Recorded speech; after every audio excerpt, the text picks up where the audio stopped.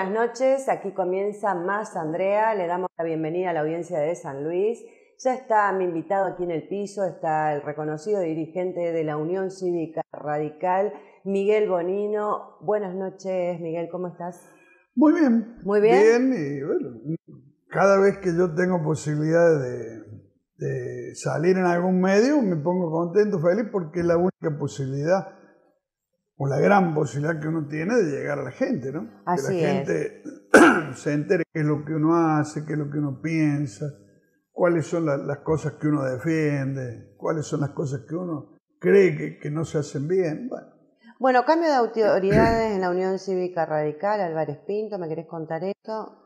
no, está bien, se acordó una lista de consenso eh, con la reelección por dos años más de, de Juan, que creo que era alternativa, porque pensar en una elección interna era confrontar, vos sabés que de- después de la confrontación siempre quedan heridos en el camino.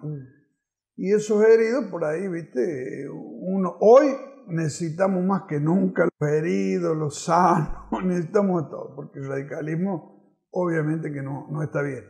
Entonces creo que ha sido acertado poder acordar una, una lista única eh, de la que participaron todos los sectores, ¿no? Así que estamos, estamos bien. ¿Cómo ves a la Unión Cívica Radical para las próximas elecciones? Mira, Sí. Yo sostengo lo que sostienen algunos otros dirigentes que no son del radicalismo. Acá hay tres posturas a nivel nacional eh, en la- en la sociedad claramente definidas.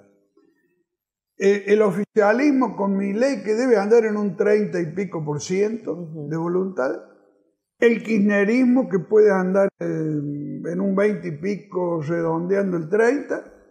Y una eh, fuerza del medio, Siempre. en la que estamos, siempre. en la que estamos los que no somos kirchneristas ni los que adherimos a, a, a mi ley. Y bueno, creo que eh, sobre esa franja eh, la Unión Cívica Radical tiene que trabajar. ¿Y aquí en San Luis? Y lo mismo, lo, Lo mismo, mismo, lo mismo. lo mismo. Todo lo que tenga olor a, a- a- a- acá hay que desterrarlo. Todo lo que sea extremadamente partidario como son eh, los de mi ley también. Y bueno, esa franjita del medio en la que, hay- en la que está la Unión Cívica Radical, hay, hay algún sector del PRO, hay sector del peronismo, hay socialismo, hay un montón de expresiones políticas que no conviven ni con uno ni con otro. Y bueno, podemos integrar una, una Bueno, fuerza. ¿a vos te gustan esas alianzas? ¿Eh? No, no necesariamente con el kirchnerismo, pero hay el peronismo no, te, no está negado vos. No, no, no, no, por supuesto, porque hay peronistas buenos. A mí en la Cámara, en los ocho años que yo fui diputado, me tocó, me tocó trabajar con un montón de peronistas que, que, que- vos los veías que son austeros, que son honestos, que son laburantes. Bueno, y me parece que sobre esos valores hay que trabajar. Sobre el veto del financiamiento a las universidades, tu visión, Mira, una barbaridad. Lo que pasa es que acá no se dice la verdad. contame cuál es la verdad. La verdad es que mi ley quiere sepultar la enseñanza pública. Mi ley quiere que se termine la enseñanza pública, quiere lo privado. Entonces empieza con este versito, de que no se auditan eh, la- las universidades es el último tiempo, que no se mienta, porque la Auditoría General de la Nación era la encargada de auditar la- a las universidades. Y todas las universidades, más o menos. ¿Pensás que no hay negociados ahí? El, el tema, ¿sabe cuál es? Sí. Fernández firmó un decreto diciendo que no se auditaran más. ¿Por qué mi ley en enero no sacó otro decreto diciendo las vamos a auditar? Porque a él le conviene no auditarlas y salir a decir que hay corrupción. Seguro que hay corrupción. No hay, no conozco ningún eh, estamento del Estado que no haya corrupción. No hay. No hay ninguno. Entonces, digamos, ¿por qué no se auditan? ¿Por qué no se auditan? Porque lo más fácil es cortarle la cabeza a todo. Lo que pasó con jubilados. el- Lo que pasó con jubilados.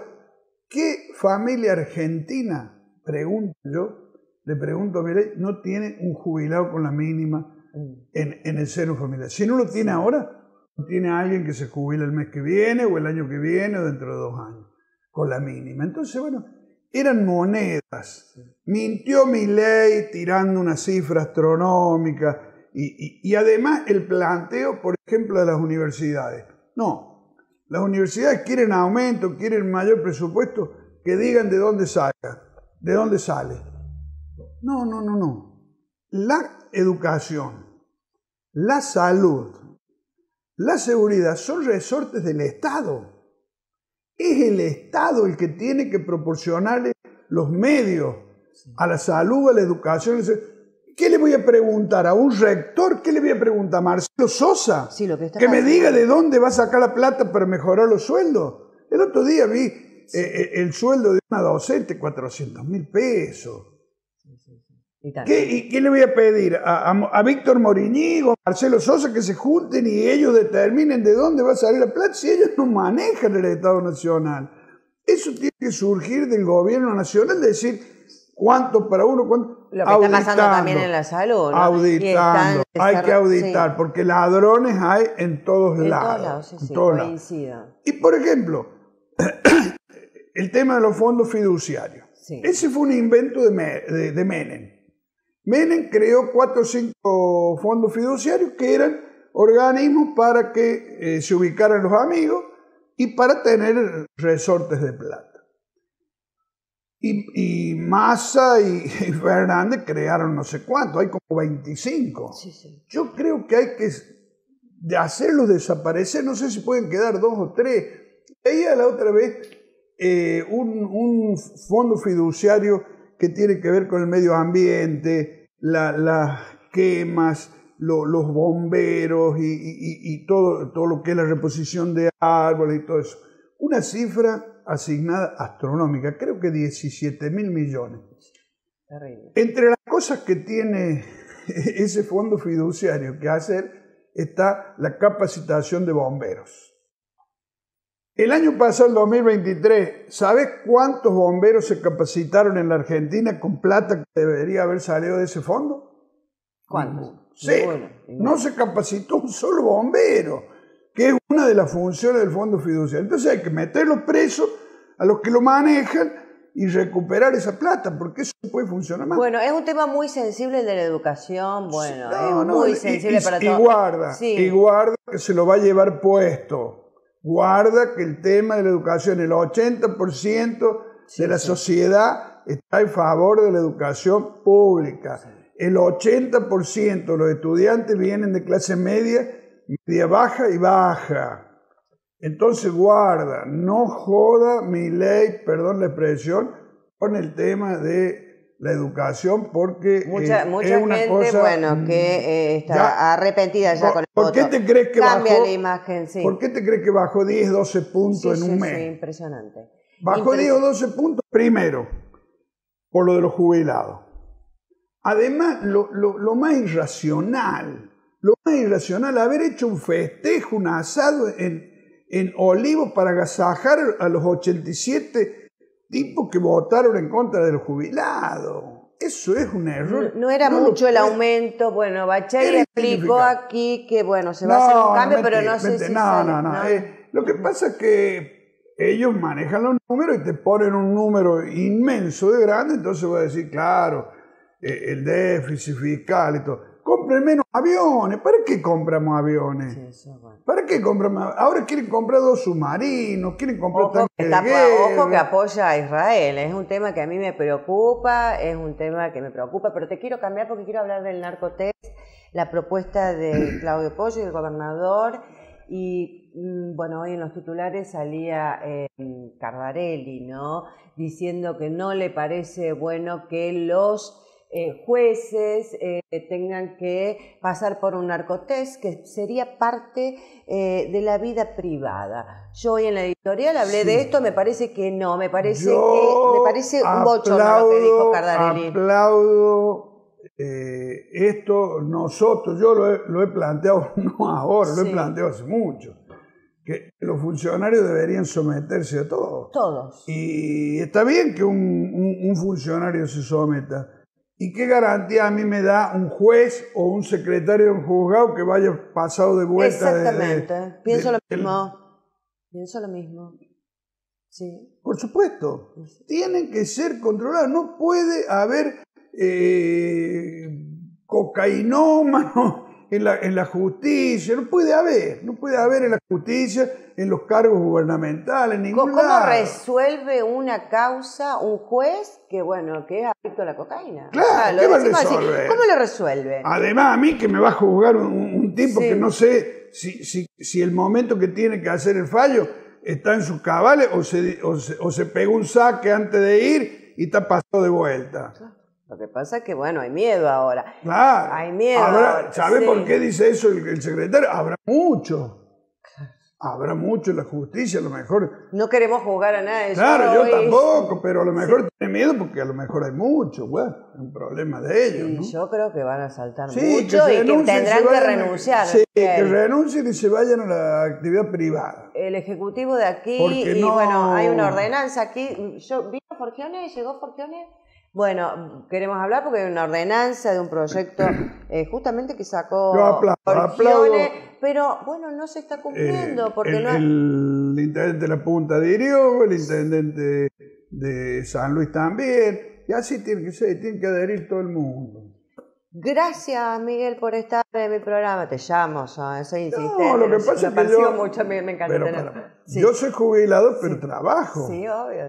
Yo tengo una vivo en una casa con muchos parques, muchas plantas, algunos animales. ¿Qué decís vos, Uy, Andrea, de nuevo? ¿Qué decís? Después la atiendo. Otra vez, Otra Vez, no, no, Más Andrea no digo sería. Eso, no digo eso, sino que hay veces que por ahí... Que no eh, se puede. Que no se puede. Hay que esperar, hay que saber esperar. Yo soy muy paciente, los vuelvo a llamar. ¿eh? Y hay momentos en que yo digo, el celular lo meto en un cajón. Claro, hay que hacer Una bendición de Dios no escuchar el celular. Es verdad. Gracias, Miguel, por estar.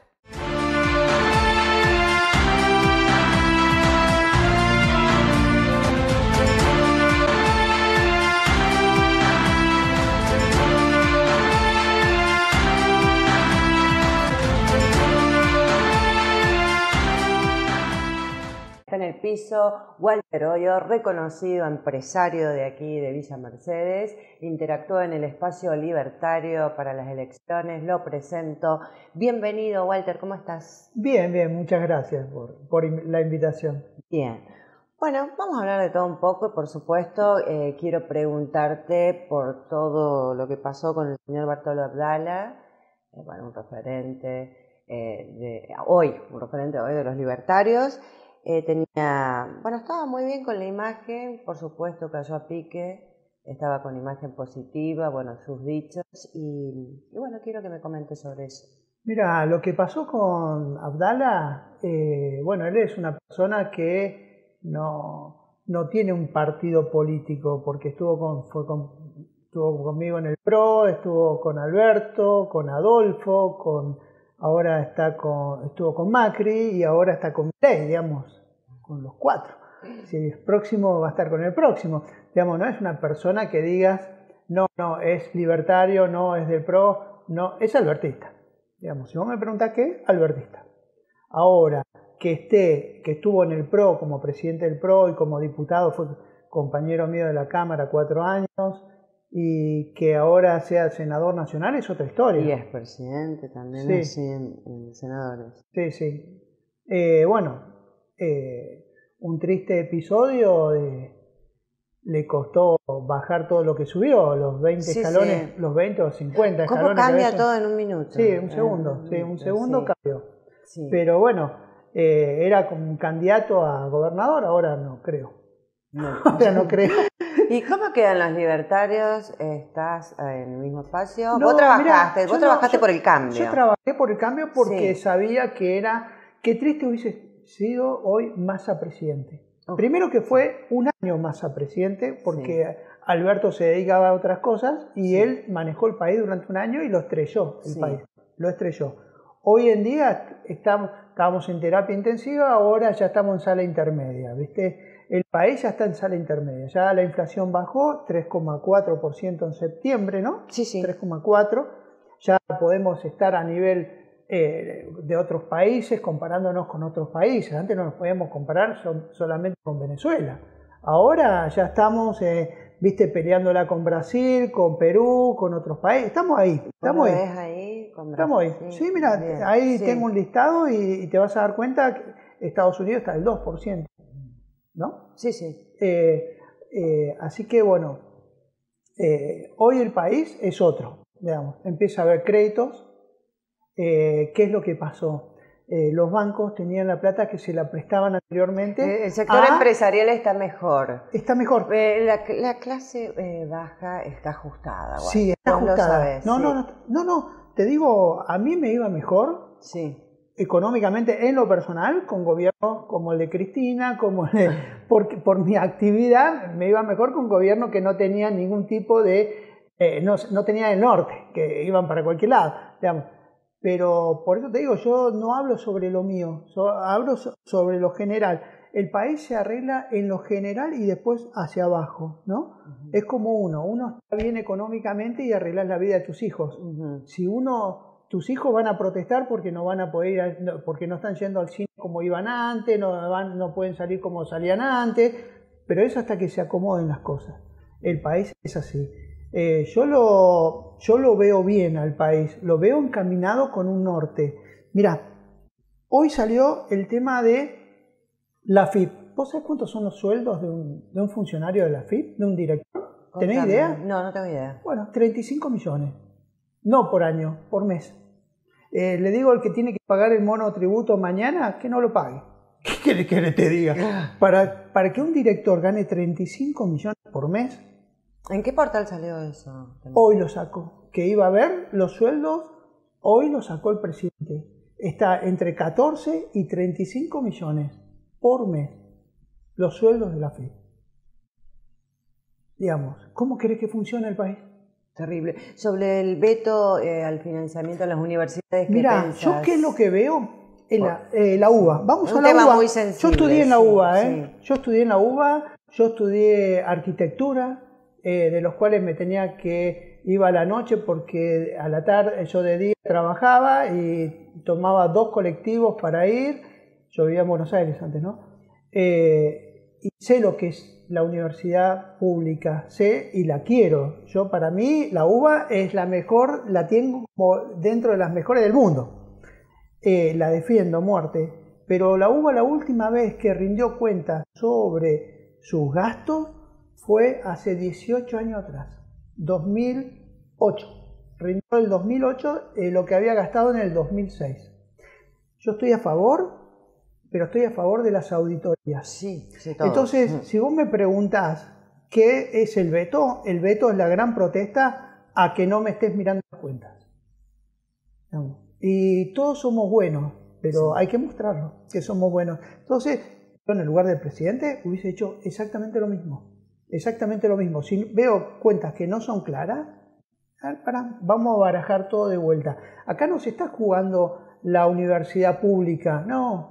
Acá lo que se está jugando son los controles a la universidad pública. Ese es el problema. Los gastos, ese es el problema. Nada más que eso. Yo te digo, para mí vos me preguntás, ¿y la Universidad de Buenos Aires, la UBA?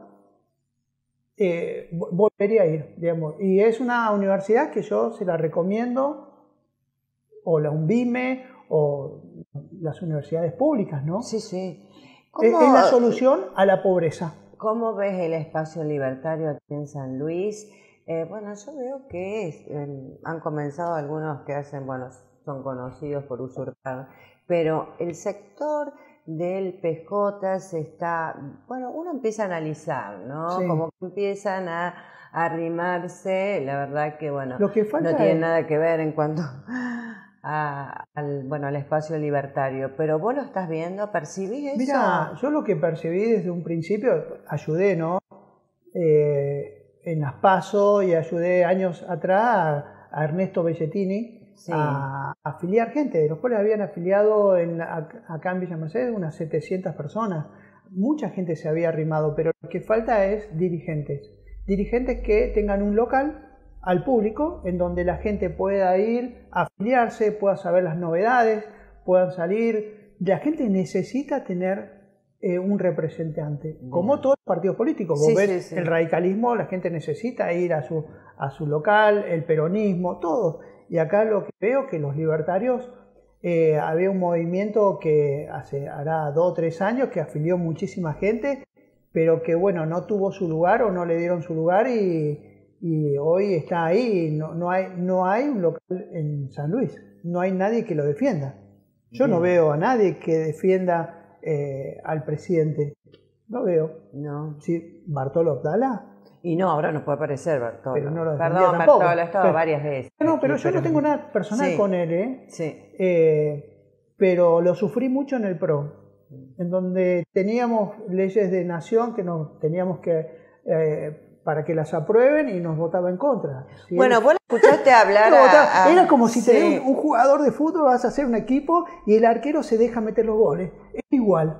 Arrascaeta, ¿la escuchaste hablar? ¿La escuchaste en alguna entrevista? Le pedimos, en algún momento pedían las entrevistas. ¿Qué pasa? Bueno, Con la dirigencia política, los legisladores que no participan, que esquivan la nota, que no... es necesario eh, da mucha impotencia, porque la gente también pide escucharlos, está en un lugar... Paga un sueldo. La gente paga un sueldo a un diputado, a un senador, a un concejal, y de los cuales necesita tener contacto. Yo nunca la escuché, perdón, porque bueno, tengo tengo muchos enojados que siempre vienen enojados, pero bueno, si comparamos, por ejemplo, con la diputada Bachey, que continuamente está interactuando, uno le pregunta, eh, todo el tiempo salimos por la radio, es, sí, hay nomás. Bueno, yo no la conozco, es una senadora, no sabemos lo que es, no sabemos cómo está trabajando. Bueno, obviamente también lo nombramos al señor este, Negri. Sí, yo con Rodolfo tengo una amistad. Sí. Eh, pero bueno, él no es político. No. Bueno, está en un lugar. Eh, está en un lugar que sí. Totalmente político y en un espacio. que bueno, eh, tendría que tomar otro tipo de. ¿Vos pensás que no tiene ambición, Mary? como ambición, sí, pero no, no es. La política no es así. La política es, es tener un local Mm. y eh, hablar con la gente, atender a la gente, ver las necesidades. Uno eh, es un representante de la gente, no representante de su propio. ¿Cómo, encontrás Villa Mercedes? Vos que siempre estás tomando un cafecito, eh, tenés muchos amigos. Bueno, ¿cómo encontrás Villa Mercedes?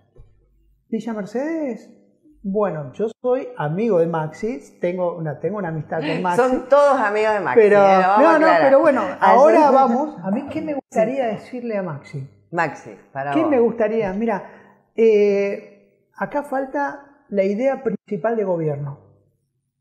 ¿Cuál es la idea principal? Vos agarrás Alberto Rodríguez A. La idea principal es obras faraónicas, ¿no? Y la locura de él era hacer obras faraónicas, muy alejado de la gente, pero bueno en lugares a donde nadie no puede ir, suponete tener, eh, no sé, casa de gobierno o, el hospital en el medio de la ruta a 7 kilómetros o 10 kilómetros del primer paciente. Sería más o menos así. Igual que el, eh, de Juana Coslay, el, de... ¿Y, qué es lo que cuestiona frontera? Porque yo cuestiono otras cosas. Por ahí lo, que, lo que yo le diría pues, es que tome una idea principal del gobierno, es decir, yo soy frontera y mi gestión es esta. Es la idea principal de partido. Eso me lo enseñaron en la facultad. La idea principal de partido es la idea que se dice en dos palabras, una palabra o una línea, pero es fuerte. Y eso es tu gobierno. Bien. ¿Qué puede ser? mucho, tiene mucha gente trabajando. No, no, pero bueno, ¿qué puede ser? Decir, lo mío fue esto. Mm. Lo mío fue esto. ¿Qué es lo que hice? Está a la vista. Que vos digas, ah, esto hizo frontera. Es lo que le está faltando. Una idea de partido. Esto pasa en todos los gobiernos. ¿eh? Vos ves a nivel nacional, lo ves a nivel nacional. La idea, ley tiene una idea de partido. No tenés críticas para frontera en la ciudad. no, no, no. Yo lo que le diría, yo lo que le diría, yo lo que le diría es que eh, su segunda gestión, que tenga, que termine con una obra, con algo que lo caracterice, que caracterice a la ciudad, digamos, algo importante, algo que diga, ah, lo hizo Frontera, ¿no? Que eso es muy importante. Idea. Bueno, las obras son siempre de la provincia. No, no, no, pero, que gestione. Que se gestionan, las obras se gestionan o sale con recursos o sale con lo, con, con lo que sea, ¿no? Pero digamos, eh, si yo le tengo que decir hoy algo, es falta eso, que digan gracias, Maxi. ¿No? Eh, eso le falta, pero eh, yo se lo digo a él acá, allá, en donde sea, porque yo le tengo cariño porque lo conozco hace muchos años y es buena persona. Vos por ahí tenés problemas con él. No, no, a mí me pasa en la justicia que digo, bueno, son todos cariñosos también los jueces, juegan, juegan. Eh, como es deportista, Frontera tiene muchos amigos en la justicia que jugaron al rap y que jugaron... A mí, a mí mi, humilde, mi humilde opinión es esa, es decir gracias por tal cosa. eso sería ya decir, bueno, mi gestión es esta. Bien, bueno, estaba con los baños de la terminal. La verdad es que no está muy buena la terminal de Villa Mercedes, pero ahora parece que la obra es los baños de la terminal. Hay mucho que arreglar en la terminal. La verdad que vos conocés y de, fuera de cámara este, hablamos de los viajes que haces. No viajas en colectivo, pero no, no, eh, no, vos visitas. Yo debo tener de cada. Tengo, les cuento, tengo mi familia en Buenos Aires, mis dos hijas mayores allá y viajo siempre. Antes viajaba casi todos los fines de semana, ahora viajo uno al mes. Y la mayoría de los viajes lo hice micro. Bien, ¿y qué te parece la terminal de Villa Mercedes? Sinceramente, saca el amiguismo. ¿Cómo la ves? No, está muy caída, ¿no? Muy caída, no está iluminada. Y la, entrada a la ciudad, ¿sabes lo que me pasaba a mí? Tenía que entrar de noche. Me deprimía entrar de día a la ciudad. Me, me, deprimía, pero te digo, a lo largo de, yo hace 20, ahora en octubre, en octubre cumplió 22, hace 22 años que estoy en, en Villa Mercedes. Y es como que necesita algo como para dar una bienvenida a la gente. Le falta eso. le falta eso. Desde la terminal. es otra cosa. Claro, entras a San Luis y es una cosa la terminal, Bueno, no, se enojen, digo, porque la lista de enojados es, grande. Va creciendo. Va creciendo y eso que estoy muy tranqui, pero. Eh, la verdad que a mí la terminal no me gusta para nada. Bueno, ahora estaban con los baños, pero hay que cambiarle el, aspecto. Sí, creo que no, con los baños no se arregla, digamos, los baños es algo que no se tiene que dudar de que estén bien o que tienen que estar bien, digamos, todos lados pero falta, eso no se arregla con los baños. Walter, ¿vas a, vas a seguir trabajando en el espacio de los libertarios? No, no, no. ¿Lo tenés decidido porque era...? No, no, yo no, en política no voy a ser más candidato, bueno, ya hace 2019 terminé mi gestión. Te contamos que fue eh, diputado, mandato cumplido. Sí, eh, eh, fui vicepresidente de la Cámara. Sí, sí.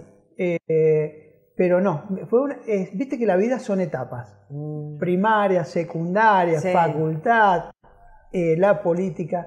Eh, me gusta opinar como vengo. ¿Estás seguro? porque esto queda de archivo. ¿eh? no, no, no. Puede haber totalmente en archivo. ¿Sufriste mucho la persecución? Sí, sí. Bartolo. Bartolo.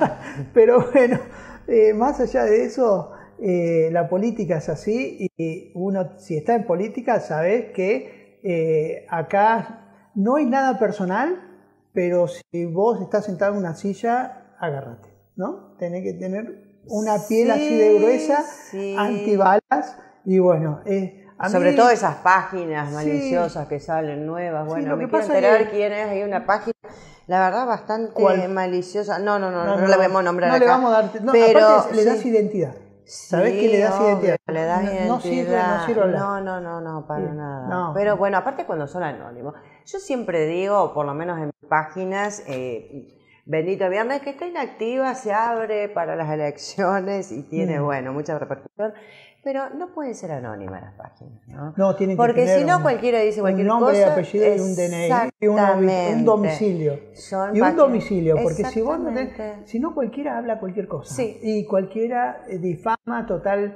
Eh, ¿Y vos qué le vas a decir algo? ¿Le vas a mandar una carta documento a dónde? no, no, pero bueno, algunos somos, conocemos las páginas operetas, las páginas que tienen tres seguidores, las páginas que, eh, bueno, ya sabemos sí, pero no, no hay que hacerse problema. No, no porque esto es, esto es parte de todo, ¿eh? Esto es parte de todo, así que no, no, no es, no es importante eso. Me gusta tenerte, Walter. ¿Mañana viajás? ¿Fin de semana largo? Es que me iba a ir mañana, mañana, sí. pero el cumpleaños de mi mamá es el fin de semana que viene. Ay, ¿y qué haces? Y dije, no, no puedo irme. Hoy me di cuenta que era el, 19 es el cumpleaños de mi mamá, entonces que uy, no, no voy a ir este fin de semana y el otro se juntan todos mis hermanos. Claro. Eh, bueno, te quedan los dos fines de semana. Y aparte tiene 89 años, vos no sabés cuál. Sí, pero te sigo en las redes y veo que, bueno, siempre estás ahí con tu eh, mamá. Viste, uno, las, personas mayores siempre tenés que estar porque vos no sabés cuándo es el último cumpleaños. ¿viste? Dios tocó madera, Dios no quiera, pero bueno. Así es, todos estamos en la misma. Hay que disfrutar cada día en lo posible con lo posible y ser felices. Gracias. No, gracias a vos. Ya está nuestro próximo invitado. Quédate.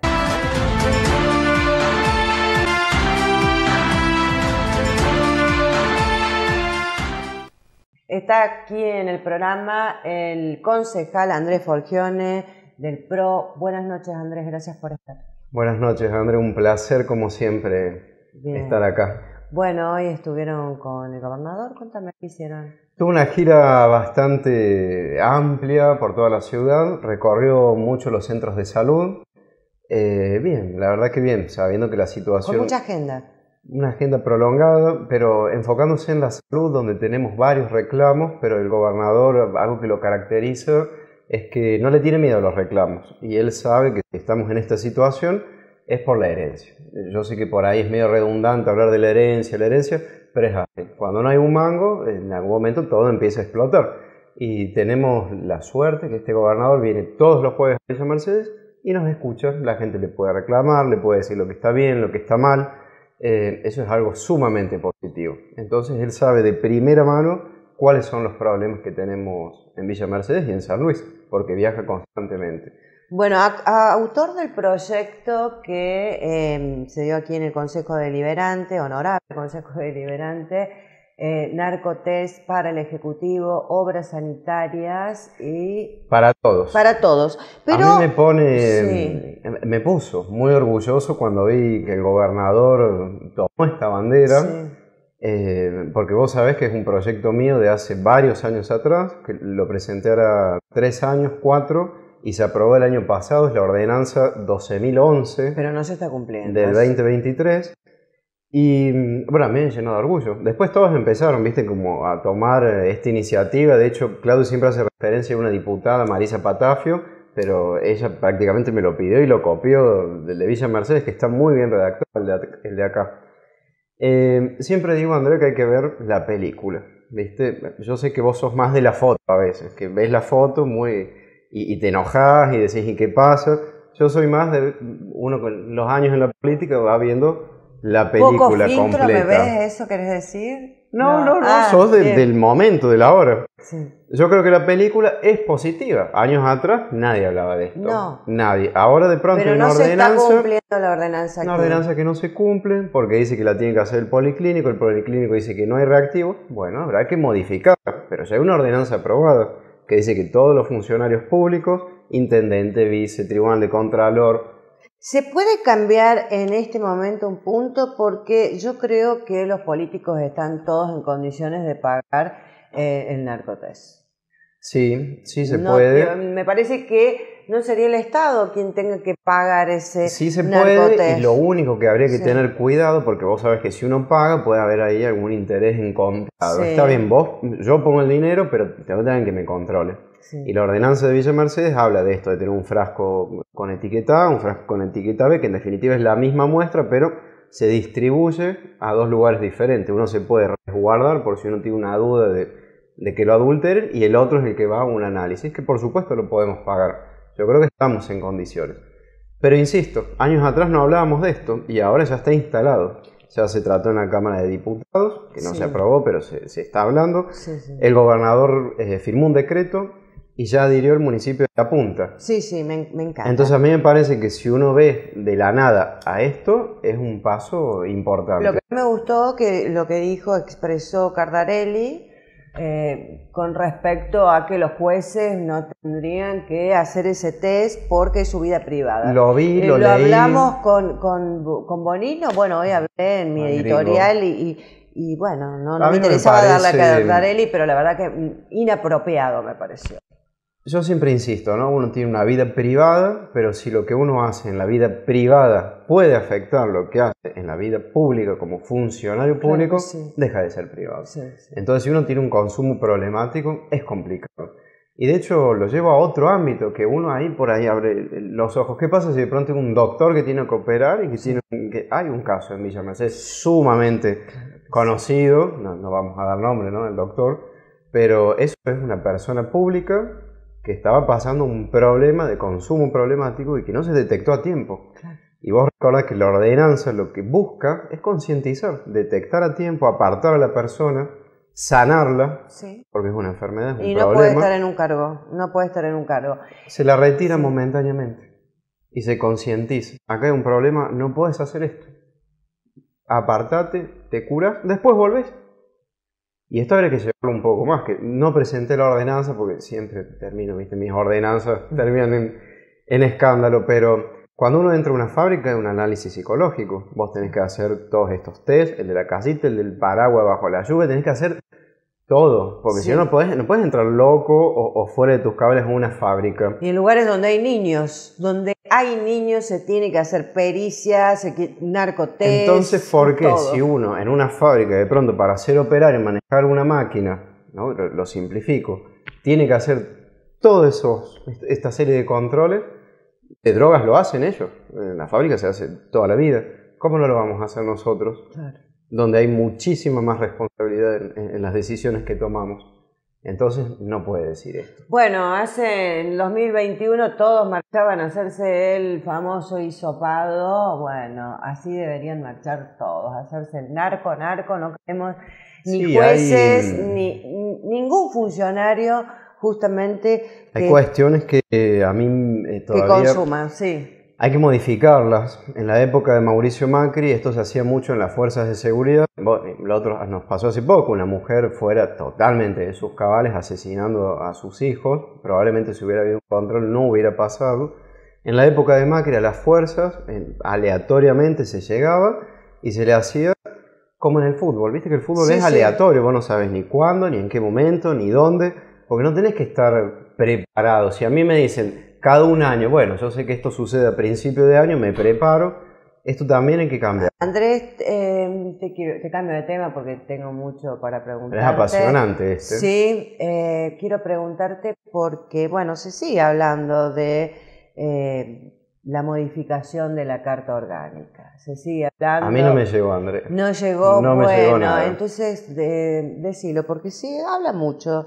Y obviamente... si está, lo están haciendo es muy tras bambalinas, sin que lo veamos, sin que nos enteremos, pero no, no hay nada, me parece que no es el momento, me parece que es muy complicado cambiarlo. Sí. No veo el objetivo de hacerlo, no creo que la sociedad esté dispuesta a Lo que pensamos del otro lado, bueno, decimos porque sabemos que quizás este, necesita cierta modernización, no, es muy viejo, ¿no? La, carta. Sí, todas, desde la Constitución argentina hasta Pero pensamos, ¿no? Pensamos en ciertas ideas del intendente y yo pensaba, ¿no? La modificación justamente para ser re, re, re, reelecto. y esto nos preocupa. No, no va a pasar. No va a pasar. Yo ya te lo dije en el último programa, hace falta una mayoría grabada en el Consejo Deliberante y nadie va a avalar este, algo tan disparatado. Todas las democracias del mundo tienden, como mucho, a la reelección. Sí, punto. Como mucho. Como mucho. Entonces, no, eso sería un retroceso. Lo vemos en otras provincias, no sé, en La Rioja, gobernadores como...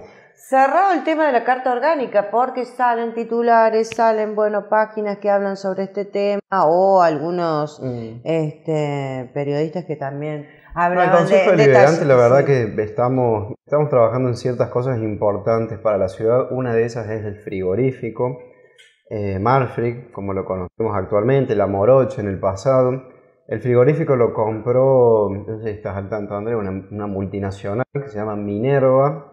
Eh, y bueno, está muy interesado en ampliar inclusive los puestos de trabajo. Como sabemos, es conflictiva esta planta porque genera ciertos olores.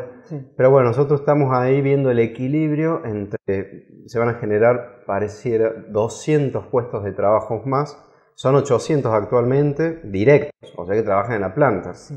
Eh, se generarían 200 más y nosotros estamos ahí viendo el equilibrio en que eso se dé, ¿no? en que no espantar a los inversores con decir ustedes se tienen que ir de este barrio, pero que cumplan todo lo que tienen que cumplir respecto a eh, bueno, lo ambiental, ¿no? los olores, los... Cambio, sí, perdón. No, y después otro tema que estamos trabajando de cerca, viste que nuestra ciudad es hermosa, pero crece medio chata, ¿no? Esto es por el Código de Planeamiento Urbano, también viejísimo, del 80. Sí, pero vos crees que están los cimientos bien como para que crezca hacia arriba, como bueno, el Ejecutivo de aquí lo dice. Yo creo que no. ¿eh? Se tiene que hacer un estudio. Las calles y el problema de vacas que tenemos es impresionante. Mm. Aquí tiene que venir gente de afuera, ¿eh? porque las calles se están rasgando enteras no puede seguir para arriba porque, bueno, no, va a soportar. ¿eh? En el caso de que se puede, lo determina un ingeniero civil, un arquitecto, por supuesto se puede, todo se puede, digamos, construyen en pantanos en otras ciudades del mundo, en el desierto, acá estamos en un lugar privilegiado, seguramente se puede. Estamos trabajando en eso, intentar que la ciudad pueda crecer un poco hacia arriba, cambiar algunas cuestiones de la ordenanza del planeamiento urbano, que es muy vieja, Relaciono estos dos temas porque siempre digo, ¿quién estuvo primero en el barrio? ¿El frigorífico o, los vecinos? Mm. Ahí nuestro código no, no previó, si se quiere, ¿no? que una fábrica o que vecinos se puedan instalar al lado de una fábrica. Entonces queremos que no nos vuelva a pasar. Eh, nosotros estamos teniendo vecinos cerca, por ejemplo, de la fábrica Nisa, eh, donde de pronto antes no, no, había, no había población vecinal y ahora de pronto se está loteando viendo todos esos detalles que parece son sumamente importantes para convivir, ¿no? Tener la industria que produce puestos de trabajo y la sociedad que quiere vivir una ciudad relativamente linda. Andy, cambio de autoridades en el PRO, se vienen elecciones, contame los detalles, sé que estás en ese tema. Bueno, vos sos uno de los firmes candidatos a. Sí, sí, por, cuestión de edad siempre uno cede y, bueno, probablemente sea secretario general del partido. Sí. Eh, pero estamos en ese tema, fin de año se vence, nosotros todo es herencia. Todo es herencia. Es como una cuestión que no se termina más en este país.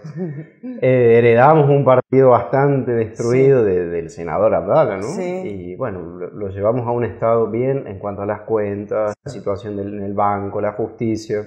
Eh, y ahora es un cambio de autoridad entre Gabriel Arriolo y, probablemente Federico Fonsa acá de Villa Mercedes. Eh, esa es la idea. Veremos si después una lista interna, qué es lo que sucede. Pero sí, la herencia, ¿no? Recién escuchaba al gringo Bonino también y, y, no comparto ahí porque me parece que hay que eh, ver un poco más la nueva política, ¿no? Siempre veo como partidos agarrándose del, pasado y no, ya está, Andrea. ¿Cuántas veces probamos? Tenemos que salir. Y, yo tengo miedo que el año que viene pase lo que le pasó a Macri, que veníamos bien y en Las Paz un cimbronazo que no. No, no, no. no. Yo eso, Cristina hizo un anuncio. Yo voy a militar, no me importa ningún cargo, Andrea, yo voy a militar para que la gente entienda que no volvamos a repetir lo mismo, que nos estamos comiendo literal todo lo malo ahora. Todos, porque la sábana es corta, el colchón es gigante, no, nos podemos tapar todos, bueno, lo estamos bancando ahora. Intentemos aguantar, porque este esfuerzo, Macri siempre dice, hasta que mi ley llegue a los números que teníamos nosotros en las pasos del 2000, ya no me acuerdo ni la fecha. Falta, o sea, hicimos un esfuerzo enorme, lo tiramos a la basura Volvieron estos ladrones que nos reventaron como nunca emitieron con la maquinita. Sí, sí. No podemos permitir que eso pase. Nosotros entendemos, yo he escuchado recién el bloque anterior, se entiende los jubilados, se entienden los profesores universitarios, se entiende todo. Y lo mismo pasa en la provincia y lo mismo pasa en el municipio, porque la sábana quedó agotada. Eh, pero hay que bancar, me parece que es la oportunidad. Hay que bancar, bueno, que, sí, por supuesto. Lo que pasa es que la gente está como muy mm, ajustada, pero bueno. Yo eh, veía hoy unos indicadores, el, riesgo país bajó como nunca, a, niveles de hace cuatro años. El dólar, yo milité al reto en su momento y un video donde está diciendo el dólar se va a ir a 5 mil, bueno, un desastre, no pasó. Eh, una empresa diciendo voy a invertir en este en un gasoducto, en poder enviar gas licuado a venderlo al mundo, otra Río Tinto, la mayor inversión en minería, entonces algo estamos haciendo bien. En seis meses, siete, aguantemos un poquito. Yo hay, creo que, Hay, que, resistir, hay que resistirse. Bueno, muchos dicen, los expertos, los economistas, que el año que viene va a ser un cambio, bueno, y que se va a sentir, ¿no? Que la gente va a dejar de estar tan apretada porque ya no da más. ¿eh? Y lo que tiene este presidente, que cumple lo que dice.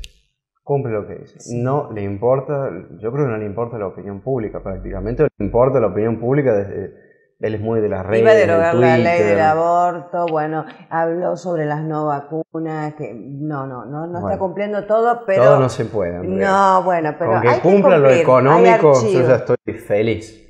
Con lo económico me conformo, después hay tiempo para debatir pero eh, algo es algo, ¿no? bueno, con las políticas de género, todo lo que se usaba, ¿no? Con el feminismo, ¿no? Y las políticas falsas, ¿no? Sí, siempre banderas y en el fondo un presidente golpeador. La bandera del feminismo y por atrás la mujer, la esposa, el acompañante, ahora no puede volver al país por miedo que le pase algo, digamos, ¿no? Entonces, lo mismo con, con, los derechos humanos, con las abuelas de Plaza de Mayo, todas causas nobles usadas para política y para robar Me gusta tenerte, me gusta porque, bueno, siempre viene siempre el concejal Andy Forgione. Gracias, Andy. Gracias, Andrés. Bueno, gracias por acompañarnos. Viene muy bien el programa. ¿eh? Nos reencontramos el miércoles por JO Producciones y el domingo San Luis Más Streaming. Gracias, gracias. Chau, chau.